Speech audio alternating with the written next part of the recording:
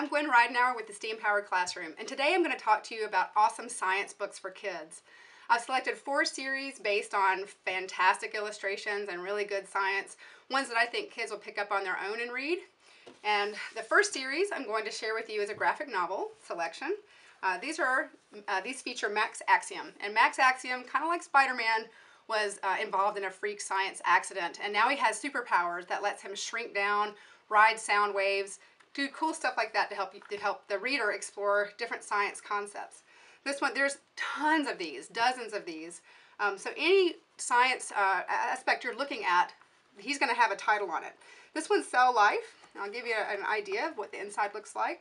So just a traditional graphic novel format. The illustrations are fun, the dialogue is good, and the science is very sound. Um, biology, cell life, we have some physics, forces in motion.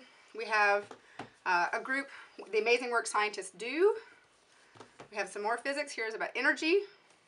Back to biology, you've got genes, chemistry, you've got chemical reactions, uh, botany, you've got photosynthesis going on, states of matter, and these are just a few of the many titles out there. So check these out definitely.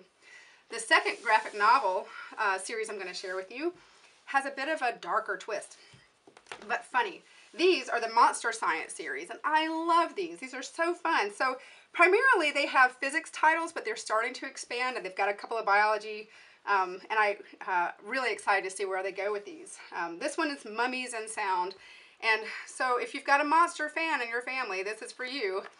Um, so in the Mummies one, it's going to focus on sound and talk about how it works, how sound waves work, and do it all through, um, you know, the story of this mummy.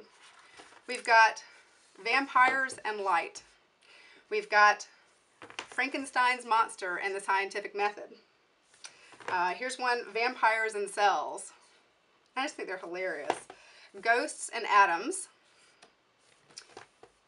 Aliens and energy. And here's one on uh, Bigfoot and adaptation. So a lot of these monsters are kind of naturally combined with the physics that they are going to um, look at, or the biology that they're going to look at. So again, they're just really fun. And here's one, uh, Werewolves and States of Matter. So love those. Uh, the next series I'm going to share with you, these aren't graphic novel series, the next two, but they're, again, they're very, um, very well illustrated and just fun. They're so fun to pick up. This one just came out this, um, we just got this in the library this week. This uh, features Wile E. Coyote because as you know, if you watch these um, cartoons, the coyote is always creating these crazy experiments to try to get the Roadrunner. And there's a lot of physics naturally in the cartoons. And so this series takes advantage of that. And so this one is Wile E. Coyote Experiments with States of Matter.